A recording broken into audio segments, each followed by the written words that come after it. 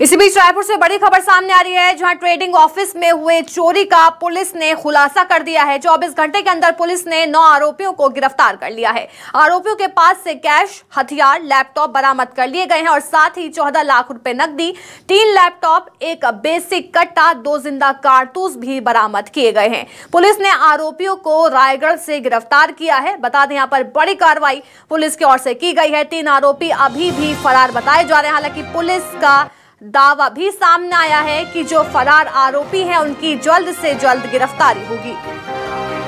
Trading office में हुए चोरी का पुलिस ने यहाँ पर खुलासा किया है।